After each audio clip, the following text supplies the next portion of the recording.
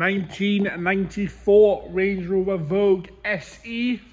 This one started its life out as a 3.9 petrol. It now has a Perkins diesel in it. If you check the website, we'll tell you exactly what engine it is, but it was a common conversion. And if you look at this video, you know exactly what I'm talking about. It was a common conversion, sort of what it still is now, uh, onto the five-speed manual gearbox as well. But it started its life out as a petrol, now has the Perkins in it, and it is a Vogue SE. So start out with a sort of top spec car, really. I'm not really too sure how old the conversion is. We'll start off with the bodywork, we'll work our way around the vehicle here. If you want any sort of in-depth photos on this sort of car, you know, I know the Range Rover guys know exactly where to be looking on these chassis and stuff like that. Just uh, give us a shout, give us an email, give us a ring. We'll, uh, we'll detail all that as well. So, bodywork wise, we're going to start off at the scuttle. It's all fairly straight across here. A couple of little blebs on the left hand side under the windscreen there. Right hand side is all nice and clear. A little bit around the around the wiper motor. And you've got pretty standard, a little bit of flake there on the gutter rail. We've had plenty of these through to know that most of them have that. As we come down the bonnet, these corners is normally an area of concern. No corrosion on the corners here, nice and clean. No issues with that. A few little dings and dents across it and a few little flat spots. The paintwork itself is, is in all right condition. It's being used. You can see that there. It wants a good old mop over. Uh, but it's a hell of a base to start with, especially with that engine in it. I can see various flat spots, but like I say, the corners are nice and clear. A few little stone chips across there, but no corrosion on those uh, bonnet corners there.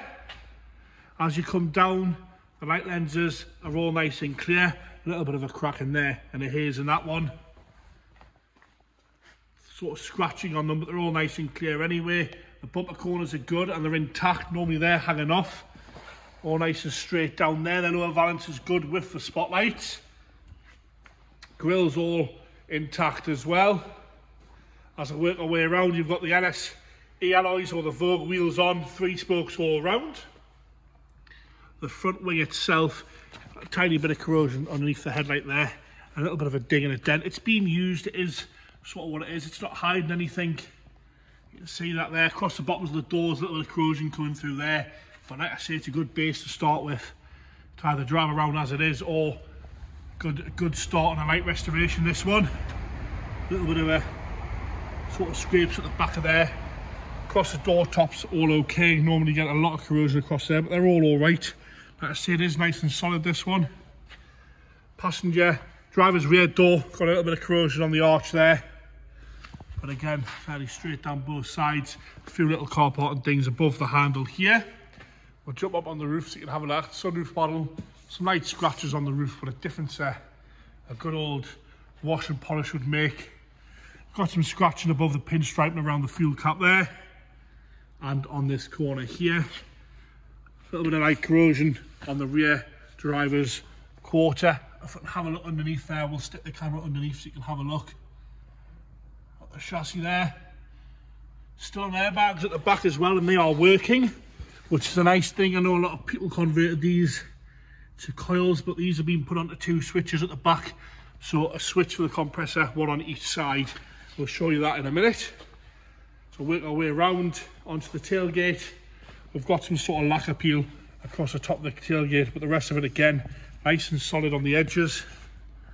You can see that there as we come across and down the tailgate. A little tiny bit at the bottom here. Corners just starting there, but not bad at all. I've seen a lot, lot worse than that, that's for sure. As I come down, you'll see got a toolbar there. The back bump itself looks okay.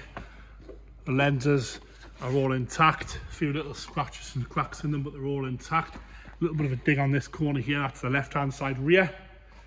As we come down the left-hand rear quarter, we've got patches of sort of sun fade and lacquer peel. But it is straight, it's a straight old girl, this one. A few little bit of corrosions down there and some stone chips.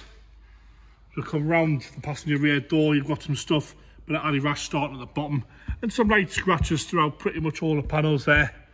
But like I say, what a difference a good cleaning polish would make. Got some lacquer peel at the top here A little bit of corrosion on the passenger rear door and it is quite, like there's some cracking in the lacquer on this side here. Quite a bit of sun fade on the passenger front door there. As you come down below the pinstripe again, some lacquer cracking there as well. Bottoms of the door on this side, tiny bit at the bottom corner here. Roll your finger across, you can feel a little bit starting there as well. The arch itself, front wheel arch here is all okay. Normally get with a lot more than that on it. And a little bit in here again. Rest of that sort of arch, front arch there is nice and straight. A few little stone chips across here. But again, no real corrosion coming through there. And fairly straight down that side. You've got a few little parking things throughout the doors. Interior wise, with being the Vogue SE, this was the top specker, I believe, back in the day. Door card is all okay, orange a good clean. Little bit of a crack there. The seat has got some wear to the bottom of the bolster. You can see it's kind of got a bit of a shine to it. Uh, but doesn't seem to be ripped or teared. Back bolster again, a little bit of wear. They are electric. Uh, the switches must have failed so someone's put them on a switch, but they are moving back and forward. And all the windows are working as well, which is nice to see on one of these. Dials, all nice and clean, easy to read. Desktop is all okay, nice and straight. So you come down after aftermarket head unit. This is the switches here for the rear airbag. So you've got left and right. Heated seats there as well. Got heated seat buttons there. And there's that five-speed manual gearbox. Not much wear to that at all. Nice and nice and complete in here. Kind of, like I say, it's all there. Into the driver's rear. Again, the door card's all okay. Seats are nice and firm as well. The back seats there with the little added armrest, which was a lovely little extra on this. Back seats are in lovely condition. A bit of wear, but no massive rips or tears. It's obviously had some arches on the inner arches at some point because they are black but they're all nice and solid. They're there, they're salvageable, that's for sure. Headline and sagging, which is sort of a trait of these Range Rovers. Sort of joys of a Range Rover, that. tailgate. I'll open that up. The, the, uh, the rams are a little bit soft. We've got a parcel shelf there. They're normally missing. I know it's a slight different colour to the rest of the car, but they are normally missing as we come into the boot there. You can have a look at that. Spare wheels there all the covers and side pieces are there. Like I say, wants a bit of a clean in there. We've got some rubber mats to go with it there as well. Close that up and we'll shut this tailgate. There we go, and it closed as well. Normally the pins are a little bit soggy on the sides, they don't really close very well. Passenger rear door again. We'll have a look at the backs of the doors as well, they look alright as well. Normally get a bit of corrosion in here. Again, it's had an arch in this side, you can see that. Better it looks like that than big rusty holes. And again, a little bit of wear at the seats, but not bad at all. The camera kind of goes a little bit dim in there. I apologise about that.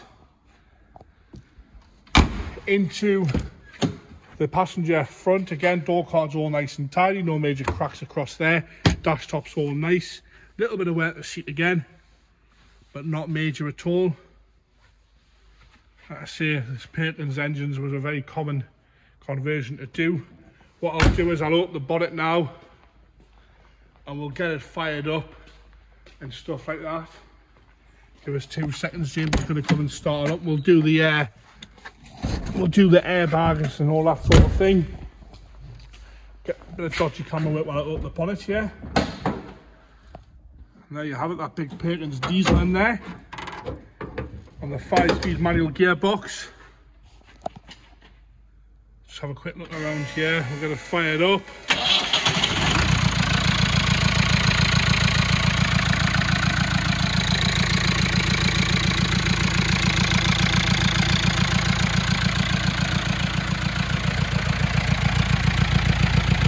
Taking over quite happy there. It is a little bit noisy, but these engines were found in forklift trucks and stuff like that.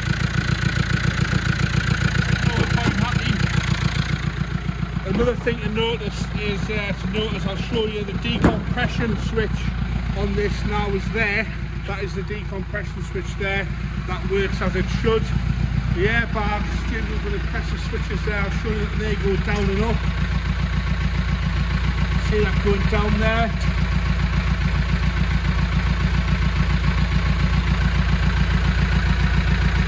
Take a little, little a little while to rise, but they do go back up. See that moving back up there?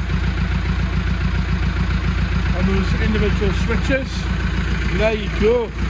The Range Rover Classic NS SE Vogue. Now with that Perkins diesel engine in it. I say check the website for the information we've got on that one or any of our lots in the next the next sale up and coming. Thank you.